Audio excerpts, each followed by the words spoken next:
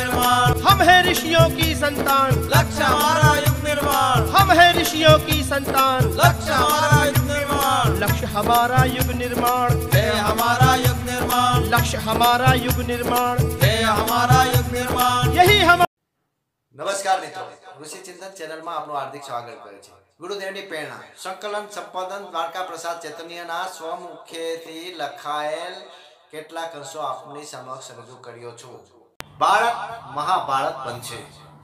આજે યુગ નિર્માણ આંદોલનની ચર્ચા લગભગ બધે જ થઈ રહી છે. એના મૂળમાં શું તથ્ય છે? તેની વાસ્તવિકતા શું છે? એના વિશે બહુ લોકો જાણતા હશે. ઘણા પરિજનો પણ એ વિશે જાણતા ઉત્સુક હોય છે કે વાસ્તવમાં યુગ નિર્માણ આંદોલન છે શું? એમાં કેવા સ્તરના અને કેવી માનસિકતા વાળા લોકોને ગુરુદેવ જોડવા માંગે છે તથા પોતાના સહયોગી બનાવવા ઈચ્છે છે. એક દિવસ અખંડ જ્યોતિનો અંક વાંચતા આનું સમાધાન મને વાંચવા મળ્યું. પેજ સાઠ, એકસાઠ પર લખ્યું છે. આપણે એક નવું યુદ્ધ લડશું. પરશુરામની જેમ લોકમાનસમાં જામેલી બુરાઈઓને વિચારરૂપી શસ્ત્રોથી હું કાપીશ. વાતો કાપવાનો અર્થ વિચાર બદલવો એવો પણ થાય.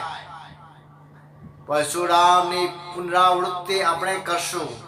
પ્રત્યક્ષ વ્યક્તિના મનમાં ઊંડે સુધી ખોડાયેલા જ્ઞાન અને અનાચારના આસુરી ઝંડાને આપણે ઉખાડીને ફેંકી દઈશું. આ યુગનું સૌથી મોટું અને સૌથી છેલ્લું યુદ્ધ આપણું જશે એમાં ભારત એક દેશ નહીં હોય, પરંતુ મહાભારત બનશે અને એનું દાર્શનિક સામ્રાજ્ય વિશ્વના ખૂણે ખૂણામાં પહોંચશે. આ જ નિષ્કલંક અવતાર છે. સદભાવનાઓનું ચક્રવર્તી સાર્વભૌમ્ય સામ્રાજ્ય જે યુગ અવતારી નિષ્કલંક ભગવાન દ્વારા થવાનું છે તે બીજું કોઈ નહીં.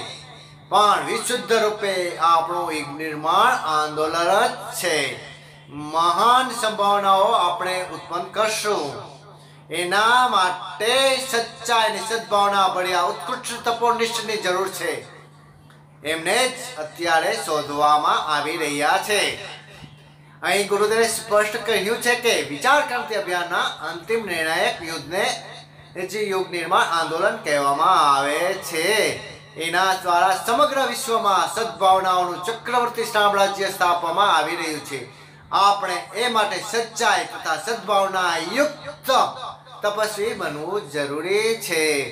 અને આ દેવાસુર સંગ્રામમાં આવશ્યક ભાગ લેવો જોઈએ. ગુરુદેવ એવા તપોનિષ્ઠ આત્માઓને શોધી રહ્યો છે. જય ગુરુદેવ. આ મિશન હજારો લાખો વર્ષ સુધી ચાલશે, કારણ કે તેની સાથે દેવી શક્તિ જોડાયેલી છે.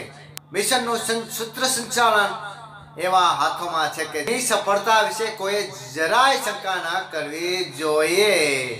જો તે વ્યક્તિ દ્વારા ચાલતું મિશન હોત, તો તે વ્યક્તિની સાથે જ બંધ થઈ ગયું હોત. પરંતુ એવું થયું નથી, કારણ કે આ દેવી અભિયાન છે.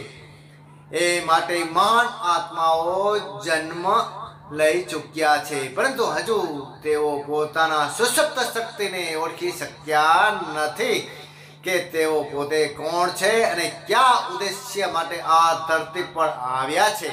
જ્યારે તેમને આ આત્મબોધ થશે, ત્યારે અપાર પ્રતિકૂળતાઓ વચ્ચે પણ નવસર્જનનું કાર્ય ઝડપી ગતિથી આગળ વધશે. પરોક્ષ જગતમાં ગુરુદેવની તથા પ્રત્યક્ષ જગતમાં મારી તપશ્ચર્યા આ ઉદ્દેશ્ય માટે ચાલી રહી છે. વંદનીય માતાજી, ભગવતી દેવ શર્મા, ગાયત્રી શક્તિવેદ જેતપુર આપનું હાર્દિક સ્વાગત કરે છે. ઋષિ ચિંતન ચેનલમાં પધારવા બદલ આપના મિત્રો, સગા સંબંધીને આ ક્રાંતિકારી વિચારો પહોંચાડવામાં અમને મદદ કરવા આપશ્રીને અપીલ કરવામાં આવે છે. જય ગુરુદેવ.